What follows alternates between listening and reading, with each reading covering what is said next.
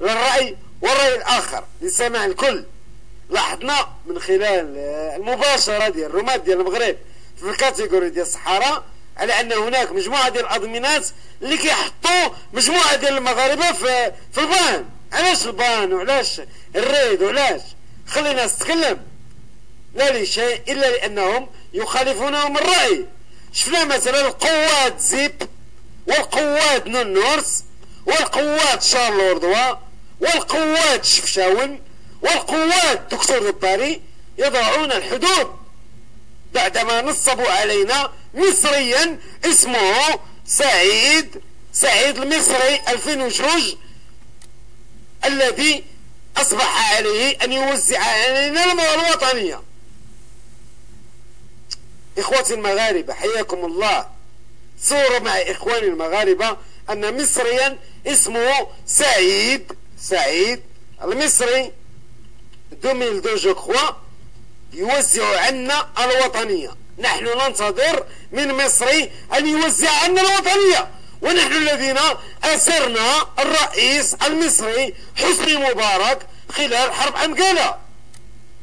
والله سلاونت والله إنني أخجل من نفسي أمام مصري يقول بأنه يريد أن يدافع عن قضية المغرب. المغاربة أولى أن يدافعوا عن قضيتهم. والله يا سعيد المصري لو سمعت صحراويا مغربيا يتكلم ويدافع عن قضيته لاستحيت. لغ... لا لاختفيت ولكن للأسف الأخ سعيد المصري ما عندك علاش تحشم؟ نخليوك. أقول فقط المغرب لن أقول أن المغرب في الصحراء إيه؟ والصحراء في المغربية ولكن أقول بأن المغرب ماض قدما في ترسيم طريق حقيقية آه، لإيجاد حل قضية الصحراء. وحيث البوليزاريو يعتبر طرف لا يمكن الاستغناء عنه في أي حل قضية الصحراء. عندما نقول بأن البوليزاريو هو طرف في أي حل لقضية الصحراء فنحن نعني بذلك أن الجهة أو المناطق الصحراوية ستحكم في إطار جهوية موسعة تخضع للتصويت الشعبي حيث محمد عبد العزيز المراكشي البوالي آه، وتسويلا أو صحراويا كان أو لم يكن من حقه أنه يتقدم انتخابات. هذه هي الديمقراطية يا إخوان. هذا هو المغرب الجديد.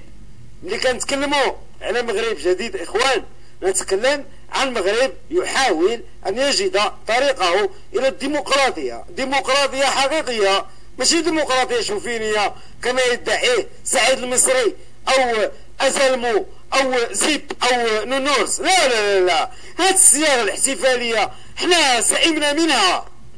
نريد مغربا آخر. نريد من المغاربة أن يتكلموا عن آه، الدرجة التي وصلها البطالة في المغرب.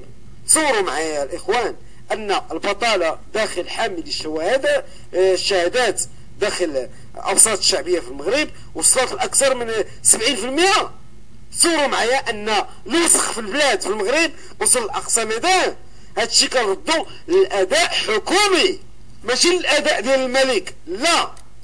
أنا أؤمن أن المغرب يتمتع بملكية تنفرد بخصوصيات خاصة تميزها عن الملكيات الموجودة في العالم.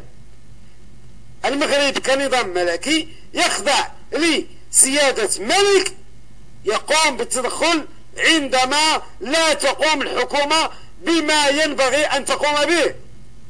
مثلا عندما تدخل الملك وقال بأن هناك مفهوم جديد للسلطة فهو يستحضر أن السلطات الحكومية اللي هي الحكومة المنتخبة ما قامتش بتفعيل هذا المفهوم. عندما يقوم الملك ويقول بأن البلاد المسخة فهذا كيعني أن الحكومة ما قامتش بالدور ديالها. عندما يقوم الملك وينادي بما يسمى بالتنمية البشرية فهذا يعني من بين ما يعنيه أن الحكومة ديالنا ما قامتش بتفعيل تنمية بشرية بدون تدخل الملك.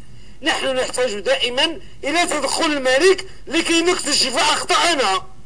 أين الخطأ؟ أين الخطأ إخوان؟ واش الخطأ فينا؟ واش الخطأ في الحكومات ديالنا؟ نحن ننتظر دائما السدة العالية بالله.